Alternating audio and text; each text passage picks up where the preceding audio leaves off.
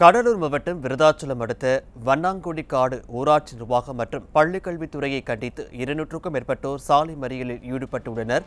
கூடுதல் விவரங்களை செய்தியாளர் தமிழர் தளபதியிடம் கேட்கலாம். வணக்கம் தமிழர் தளபதி விவரங்களை பதிவு பண்ணலாம் வணக்கம் பாலாஜி. கடலூர் மாவட்டம் விருத்தாச்சலம் அடுத்த வண்ணாங்குடிகாடு கிராமத்தில் ஊராட்சி ஒன்றிய தொடக்கப்பள்ளி அமைந்துள்ளது. இப்பள்ளியில் சுமார் நூற்றுக்கும் மேற்பட்ட மாணவ மாணவிகள் பயின்று வரும் நிலையில் இப்பள்ளி வளாகத்தில் இருந்த பழைய வகுப்பறை கட்டிடங்களை இடித்துவிட்டு புதிய பள்ளி கட்டிடம் கட்டு கட்டப்போவதாக கூறி ஊராட்சி நிர்வாகம் கூறியதாக சொல்லப்படுகிறது. இதனால் கடந்த ஒரு வருடத்திற்கு மேலாக பழைய பள்ளி கட்டிடம் இடிக்கப்பட்டதால் அப்பள்ளியில் பயிலக்கூடிய மாணவ மாணவிகள் போதிய வகுப்பறை கட்டிட வசதி இல்லாமல் சுமார் ஐநூறு மீட்டர் தொலைவில் உள்ள மாற்றுப்பள்ளிக்கு சென்று பயிலக்கூடிய அவலநிலைக்கு இருந்து இருந்து வருகின்றனர்.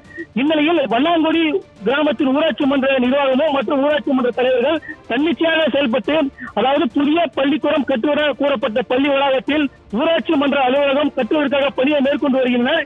இதற்கு எதிர்ப்பு தெரிவித்த அக்கிராம மக்கள் மாணவர்களின் நலனுக்காக பள்ளி கட்டிடங்கள் கட்டுங்கள் கூறி என ஊராட்சி நிர்வாகத்திடம் முறை முறையிட்டுள்ளனர். ஆனால் அதற்கு செவிசாய்க்காத ஊராட்சி நிர்வாகமும் பள்ளி கல்வித்துறையும் தற்போது வண்ணா வண்ணாங்குடி வண்ணாங்குடி கிராமத்தில் புதிய பள்ளிக்கூடம் புதிய ஊராட்சி மன்ற கட்டுவதற்காக பணியை மேற்கொண்டுள்ளதால் ஆத்திரமடைந்த அக்கிராம மக்கள் சுமார் இருநூறுக்கும் மேற்பட்டோர் தற்போது விருத்தாச்சலம் ஜெயங்கொண்டம் செல்லும் சாலையில் அமர்ந்து கையில் கையில் பதாகைகளை ஏந்தி கொண்டு மறியல் போராட்டத்தில் ஈடுபட்டு வருகின்றனர். அதாவது மறியல் போராட்டத்தின் போது தங்களுக்கு ஏற்கனவே ஊராட்சி மன்ற அலுவலகம் உள்ள உள்ள போது எதற்காக புதிதாக ஊராட்சி மன்ற அலுவலகம் வேண்டும் என்றும் எங்களுக்கு போதிய வகுப்பறை கட்டிட வசதி இல்லாமல் ஏழை எளிய மாணவர்கள் பயந்து வரும் நிலையில் புதிய பள்ளி கட்டிடம் கட்ட வேண்டும் என்றும் கோரிக்கை வைத்து சரி- மறியல் மறியல் போராட்டத்தில் ஈடுபட்டு வருகிறார்கள் அதனால மறியல் போராட்டத்தின் போது அஹ், பொதுமக்கள் வந்து மரங்களை குளிக்க வெட்டி சாலை நிறைய போட்டும் சாலையின் குறுக்கே படுத்துக் கொண்டும் போராட்டத்தில் ஈடுபட்டு வருகின்றனர் இது குறித்து தகவல் இருந்த காவல்துறையினர் சம்பவத்துக்கு வந்து பலகட்ட பேச்சுவார்த்தைகள் நடத்தியும் தற்போது வரை சாலை மறியல் போராட்டத்தை கைவிடாமல் சுமார் ஒரு மணி நேரத்திற்கு மேலாக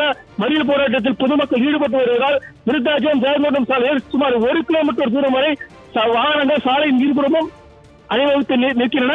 இதனால் சுமார் அஹ், ஒரு மணி நேரமாக சாலை மறியல் போராட்டத்தில் ந- போராட்டம் நடைபெற்று வருவதால் ஒரு பதட்டமான சூழல் நிலவுகிறது பாலாஜி.